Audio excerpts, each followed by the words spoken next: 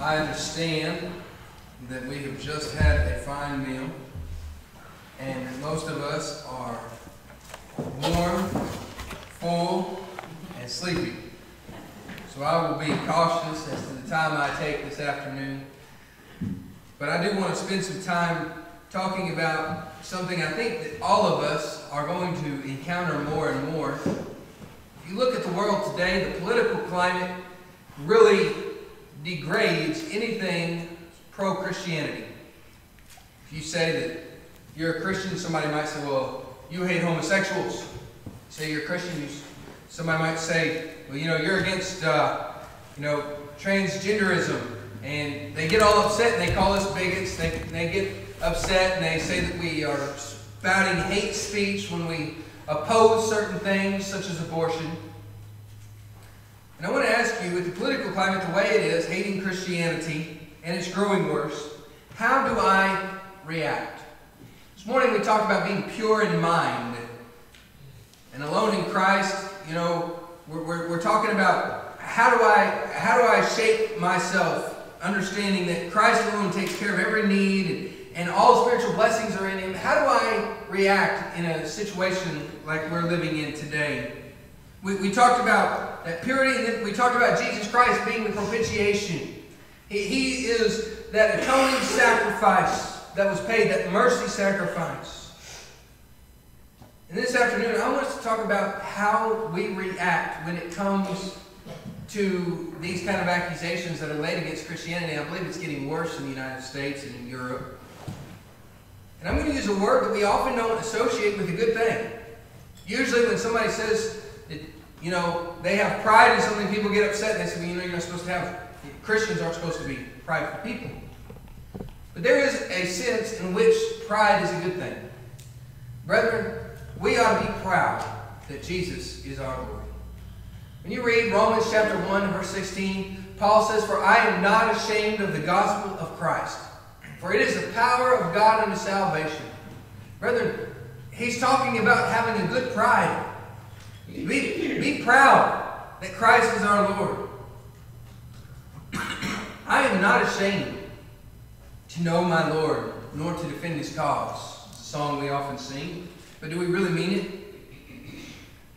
When the world is very aggravated and agitated with us because we're not like them, because we don't live the same way, we don't believe the same things, we don't watch the same things, and we don't do the same things they do.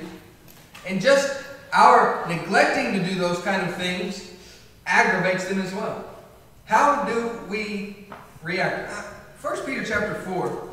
I invite your attention there. Verse 16. Let's start back at verse 14. It says, If ye be reproached for the name of Christ, happy are ye. For the Spirit of God and glory resteth upon you. On their part he is evil spoken of, but on your part he is glorified. But let none of you suffer as a murderer or a thief or as an evildoer or a busybody in other men's matters. Yet if you suffer as a Christian, let him not be ashamed, but let him glorify God on this behalf. Brethren, we ought to have pride. And I'm going to propose to you there's three things that we ought to have good pride in.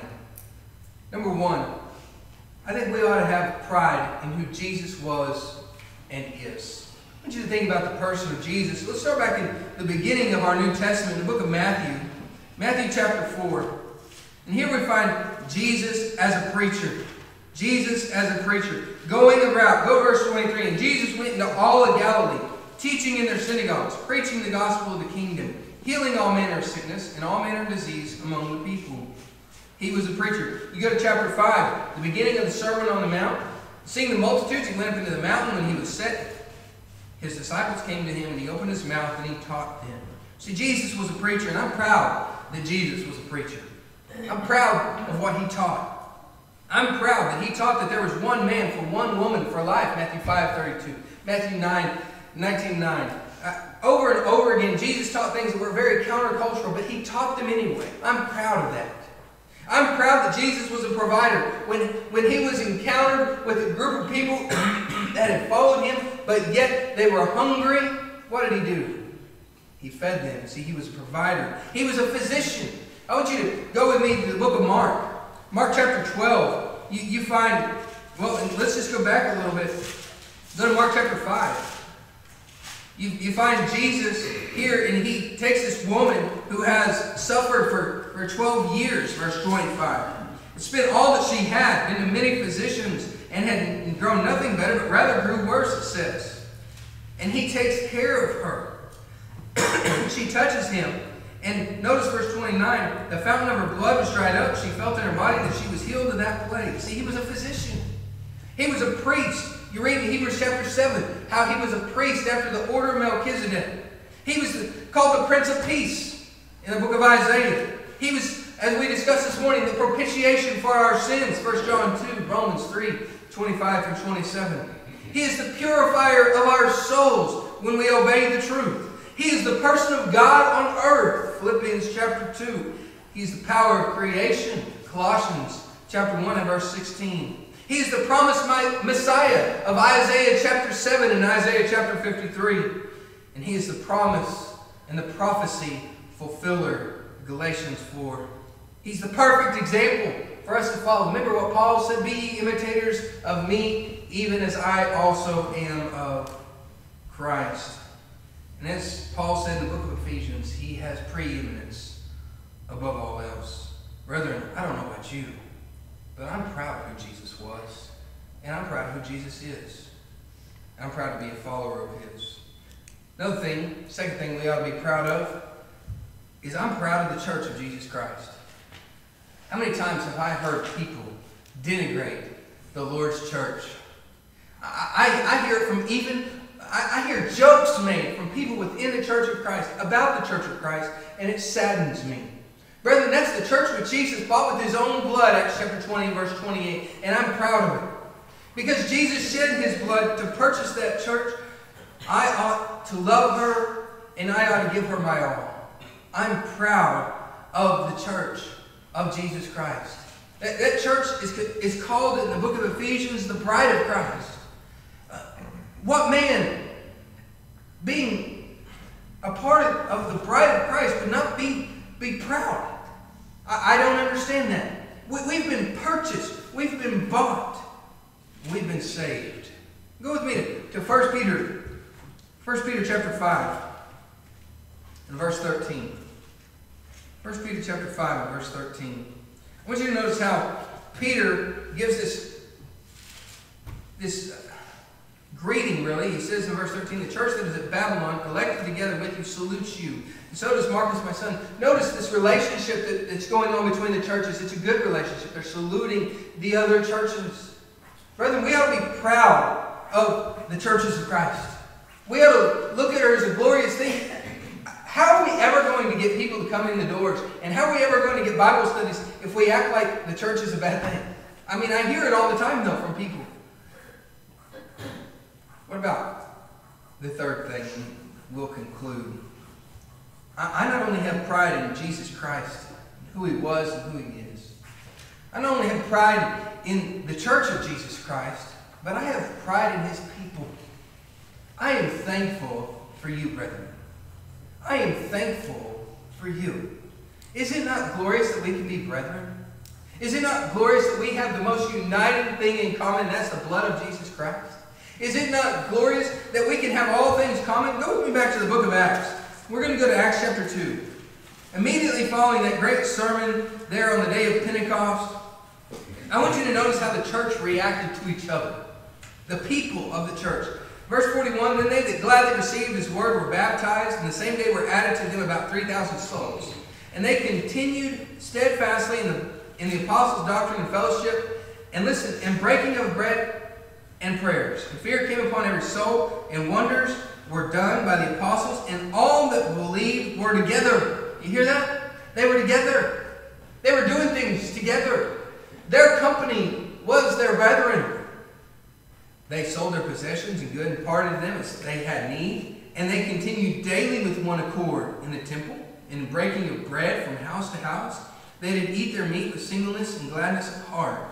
Brother, that's how we should be defined in the New Testament church as a people that is busy being together. Go to chapter 4 in verse 31. It said, When they had prayed, the place was shaken together where they assembled together, and were all filled with the Holy Ghost. They spoke the word of God with boldness.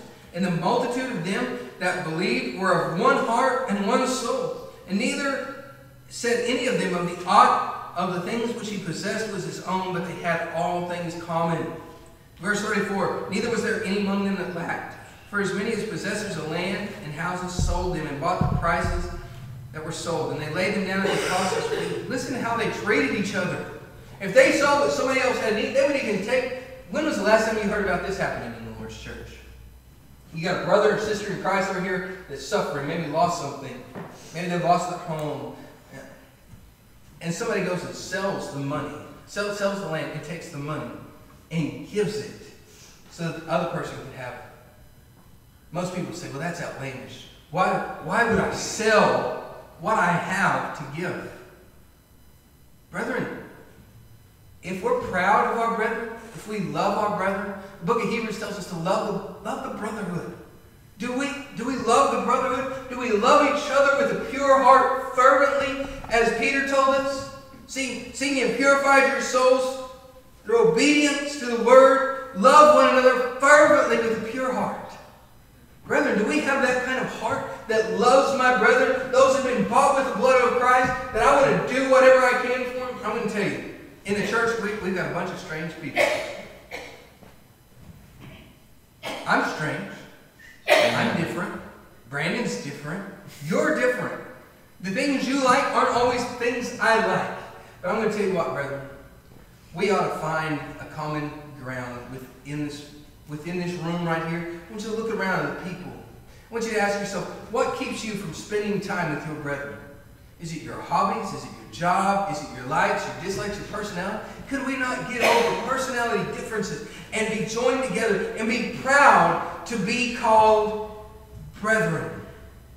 Brethren, I'm so proud to be a member of the body of Christ. I'm proud that Jesus is my Lord, and I'm proud, and listen, that you are my brethren. We need encouraged.